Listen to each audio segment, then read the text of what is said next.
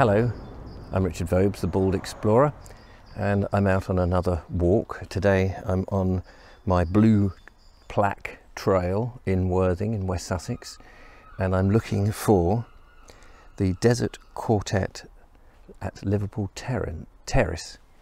And I'm starting at Ambrose Place, where in my previous video um, I looked at Harold Pinter's uh, residence from 1962 to 1964 and I'm going south towards Montague Street from Christ Hospital Church which is behind me down on this very very quiet morning past Humphreys Road here and approaching a beautiful old school that used to be a gym. This rather amazing house Look at that standalone villa, beautiful walled garden. Some beautiful property here, and then lots of different um, different types of Victoriana here. And then you've got this what used to be the school. I knew it really as Reps Gym.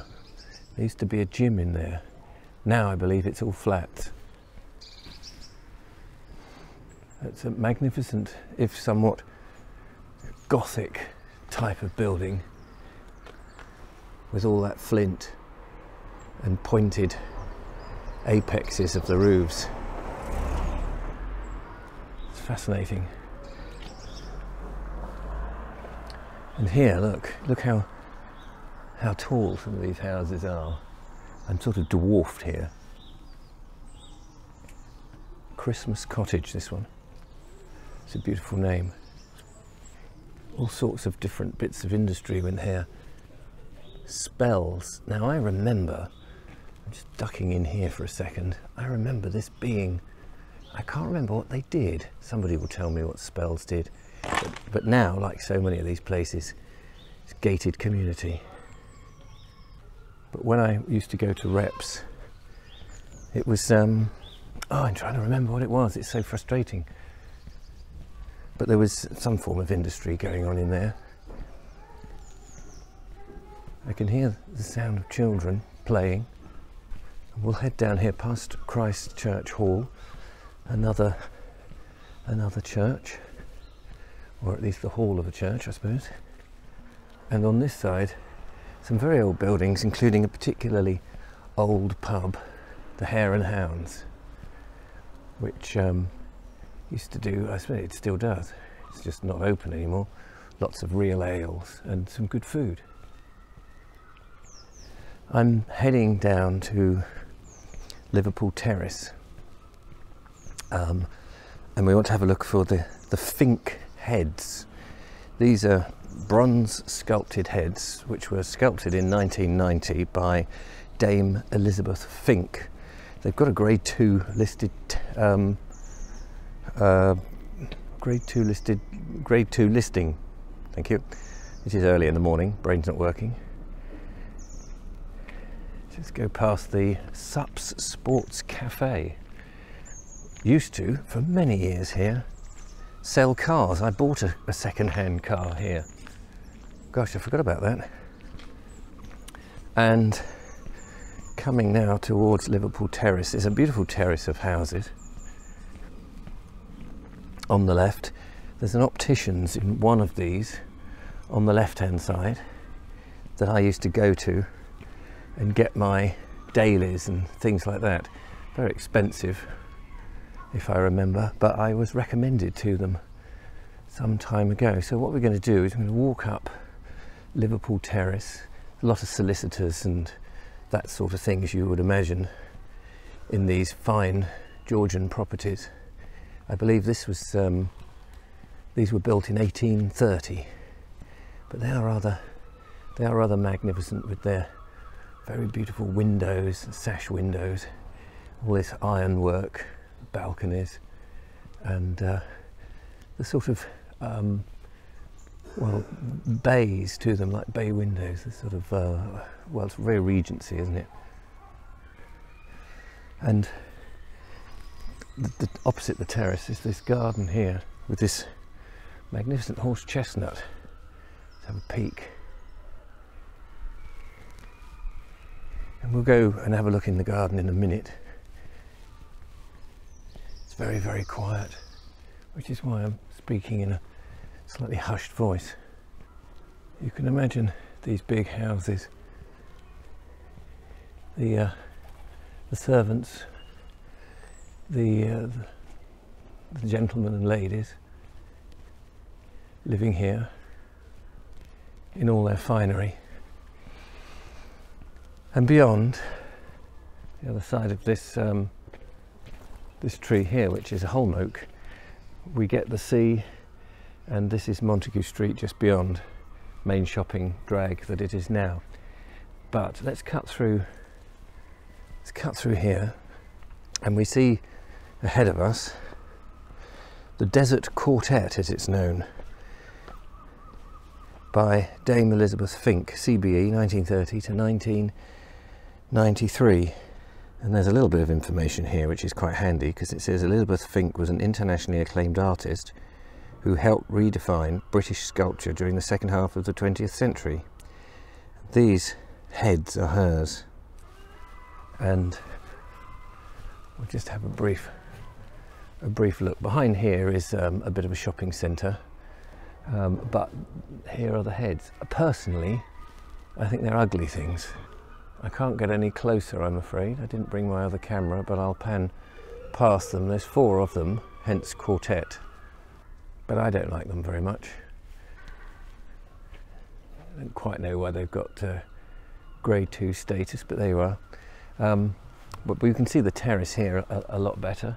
And then this little parkland, which must have been so they could perambulate with their with their old-fashioned prams and that sort of thing. There's that rather magnificent sweet chestnut tree, which must have been here, probably planted in 1830, I imagine. And I'm now standing by one of my favourite types of tree, a London plane, next to all this um, spotted sorrel. And on the other side, I think these are I don't know if these are genuine or imitation buildings actually. I imagine they must be the same. To be honest you, with you, I've never overly looked at these buildings. I've always looked at them on the other side.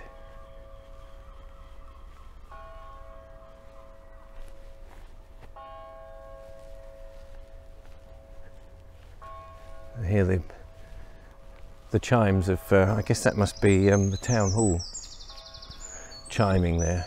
We'll come back through what I think is box. Is it or privet?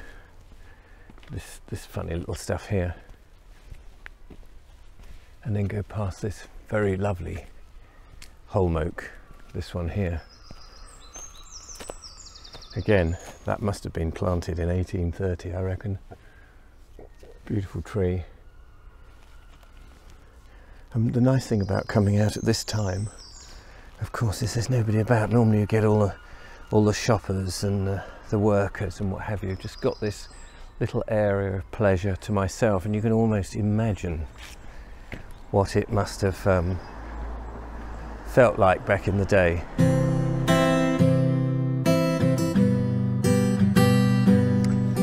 To finish off my video, I'm just going to take a walk back up Field Row. I love this. Again, I guess it's a Twitten, I'm not sure.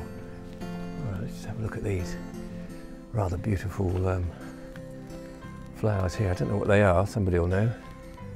Underneath, another sweet chestnut, uh, horse chestnut. Did I say sweet chestnut before? I probably meant horse chestnut. Conker tree, conker tree is what I meant. Yeah, I love this little field row it's a quiet, old pathway leads back up to Ambrose Place and Harold Pinter's old abode.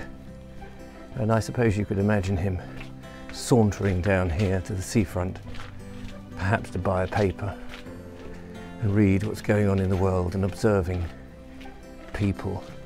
And the nice thing about this little Field Row is at the back of buildings.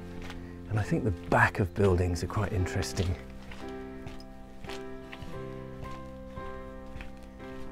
This is the back of Christchurch Hall Apartments that we saw on the way down, the church hall. It is rather lovely. Sadly, on the opposite side, this massive load of flats which I think gives you the uglification of England everywhere. As Benjamin, was it uh, Benjamin Britten? Uh, somebody who termed the uglification word. I know um, J.B. Priestley's used it too. So let's not look at that. Empty cash boxes.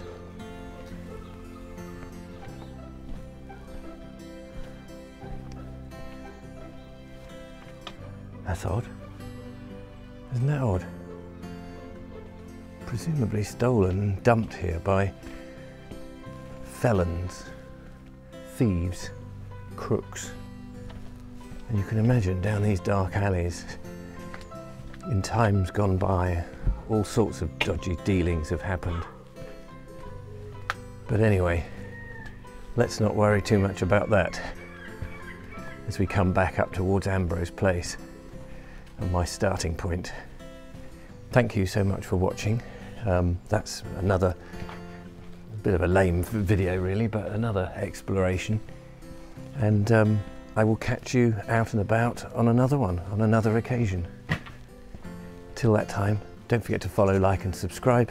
Become a patron, support what I do if you can. Give me a thumbs up. I'll see you on the next one. Bye-bye.